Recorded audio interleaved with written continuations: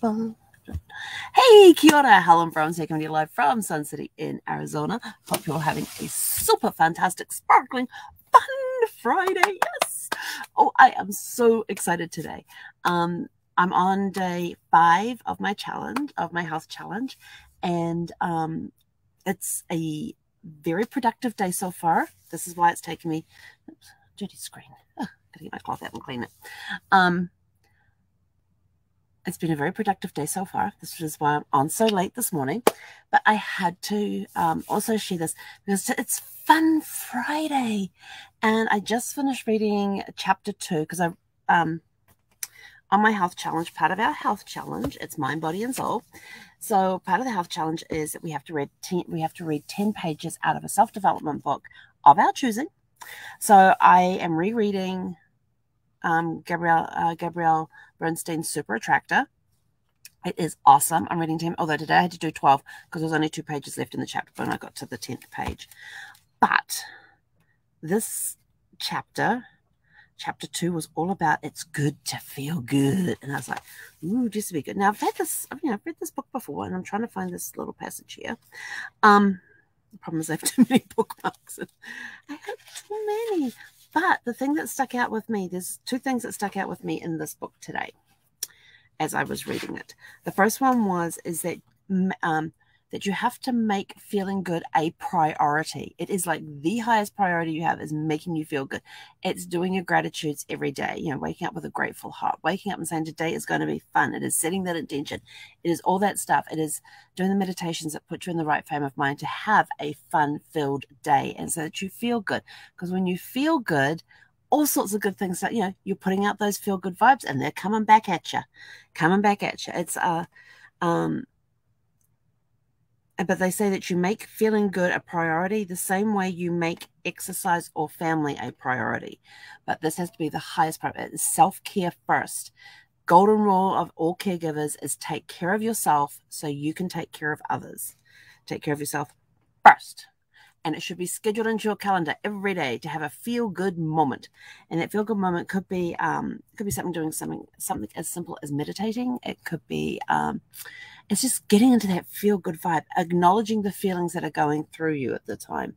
But there was one sentence in this chapter that leapt out at me, and I was, oh my gosh, it made me feel so good because it felt like I was getting, I was getting, it felt like it was directed directly at me. That's how I felt when I read this, is that this was a personal message for me. And the sentence says, Darkness cannot coexist in your light, so keep shining and all I could think of was sparkles. Sparkles, sparkles, sparkles, super fantastic and sparkling. And, and then I wrote next to it in the in the margin here, I wrote sparkle on. Sparkle on. So we are sparkling on. We're making every day super fantastic and sparkling. Um, and it's giving us a good vibe for the day. And I was super excited to share this with um, the people that are in the health challenge with me this morning and saying that I'm going to make my sparkling dash overflow with sparkles. And if you don't know what your dash is, it is that dash, that line is that is between when you were born and when you pass away, pass from this existence to the next one, whatever you believe, you die. Um, but you know, it's the dirt nap time. Um, but it um so that dash is that piece between when you were born to when you die is the dash. And it's how full is your dash. My dash my goal now is that when my dash um, has its end date on it that that dash will be overflowing with sparkles. That's my goal is to spread sparkles as far and wide as possible to help people to feel good each each and every day. Um, oh this purple and red looks really good together hmm didn't notice that. so, just things that pop into my head. But my goal is to spread sparkles so much, um, just spread, spread the joy and the happiness and the fun, and um, spread it so much that even when I pass away, this sparkles are still overflowing out of that dash. It is to be an everlasting fountain of sparkles coming out of my dash. So that is my goal now. And another sentence that stuck out to me, and this is, uh, well, it said feeling good every day is my highest priority. Make it your priority to feel good every day. When you start feeling good, I've got a friend of mine, um, um, Kelly, and she does um, finding the joy, and she's been doing it now for way longer than I have been doing Facebook Lives because she's up to a thousand and something. I gotta go find out now. Now I have to find out so I can give you the exact number. Um, she has she does this. Eh, she's been going longer than I have. Well, she does a post every day. I've done the live every day, but she is. So Kelly Teagarden has been doing. She's been doing finding joy in the journey every day for 1,559 days. Isn't that call, Tomorrow will be 1,500. Oh, today is actually going to be 1,560. But she has been posting the, the finding joy in the journey for 1,559 days. I don't see today's one on there yet, but it will be um, because I know she will. Actually, actually, yesterday was 60. But she's posted 1,559 of these finding joy in the journey. And I love reading them every day because they give me a bit of spark to the day and everything else. So she's been going a lot longer than I have because 1,096 is three years. Um, so she's been, she's on year five. Yeah, because at 365 to 1,006. Yeah, so she's in the, so she's already started year five. So she's done four full years of these finding joy in the journey. So, um, you know that's that's huge congratulations to her on that. But it's helping her so you know you don't have to go do something like that. You don't have to do a facebook live every day. Just find some way every day at the beginning so you're setting the intention for the day to find that joy in your day. Go out there and as you're going through the day even if bad things are happening find a way to turn it around. Um, you know, they say you should be grateful in all situations. And people go, oh, but what if I'm in the middle of, uh, you know, stuck in an emergency room, been in a bad accident? I said, then find joy in the journey that you've got the medical staff there to help you. And she's like, oh. I said, well, aren't you grateful that they are there to help? And she's like, yeah. I said, well, there you go then. My gratitude when the day that Brad passed away, when he passed away, I was grateful. Uh, you know, my heart was breaking, but I was also grateful that um, for the time that we had had together, and the, but I was most grateful for the fact that he was now free. He was free from that disease. He was free from the broken body he was living in. Um, so I was, you know, I was grateful in that moment um, for the fact that he was free and that he is no longer in pain. Yes, my heart was breaking, but I was also grateful for the um, for the time that we had spent together as well. For the time, you know, for the the time that we were married, um, the time we had together before we got married. You know, I was grateful for every moment that we got to spend there, the good and the bad, the good and the bad, because they all make up the picture. You all learn and grow. You even learn and grow during bad times as well.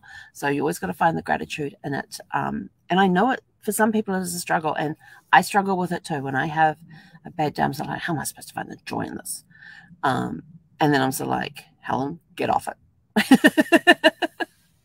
And I actually repeat that, and I actually say to myself, I'll go look in the mirror, and that's a hard thing. You'll look yourself eye to eye in the mirror. It is very hard to do. Look at yourself, look at yourself eyeball to eyeball in the mirror and tell yourself stuff. And if I'm feeling down and I'm, I just want to like, why do I have this? I'm so like, no, we've got to get off this and get moving. Get back to, get back to, to center. You can have like five minutes and then we're off it. Um, so I give myself time limits as well. I learned that one too. Is give yourself if you want to feel down and have a pity party, give yourself okay, we can have a pity party for five minutes, then we're done. And then I go into the bathroom and I look myself in the eyes and I sit around and say, It is a no matter what happens, today is always super fantastic and sparkling. Be grateful for that. Um, and I'm like, okay. and then I'm off back to my getting out of that funk. Yes, it can take a few minutes, but I'm off it. I'm now back into the mindset of being super fantastic and sparkling, going out there having fun, helping other people, serving other people, doing my just doing my thing. So that's it for me for, for now. Go out, have a super fantastic, sparkling, fun day. Go find your fun. Go find your joy um, for the day, and um, and rejoice in it and embrace it. And I don't know what to do. I got here this morning. I sat down here this morning to my quiet time, and I suddenly just went, Good morning. I didn't yell too loud because it was 5.30 in the morning. Um, and we have quiet time here at the park from 7 a from 10 p.m. to 7 a.m. So I didn't want to yell too loud to disturb the neighbors. But anyway, go out, have a super fantastic, sparkling, fun day. Enjoy the day. Find your joy. Get your plans in place for the weekend. I think there's some game thing on this weekend. Well, no, the Olympics are on, but I think there's some other big game thingy on this weekend too. So if you're watching that, enjoy that. If not, it don't matter. Um, I won't be watching. No, I'm not watching because I got no way to watch it. So that's fine with me. Um, I got more important. I, I was just going to upset some sport people. I have more important things to do. I just don't get the game. I just.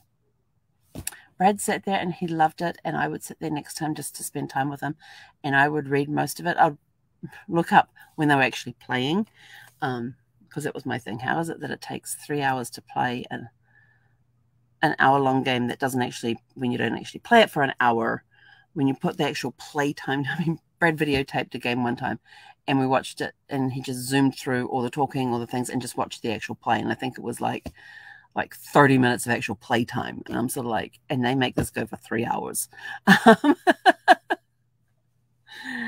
yeah, I'm used to used to other sports that um, you're on the field the whole time. None of this bumming around. You get in there, you play the game, you get out, and you're over and done within 90 minutes. That includes a 10 minute halftime. So, um, 90 minutes over and done with. But anyway, I'm out of here. Oh, must be getting warm. My face is flushing up. It's not the reflection of the red. Although it could be that. But there's meant to be like 80 degrees today. So I've got all the doors and windows open. And the awning is out and it's the awning's not even moving, which means there's not even a breeze. And Zeffy is basking in the sun up on the dashboard. She is in her joy right now. Anyway, go have a super fantastic, sparkling, fun Friday, and we'll catch you guys back here later on this evening. Hey, kia ora.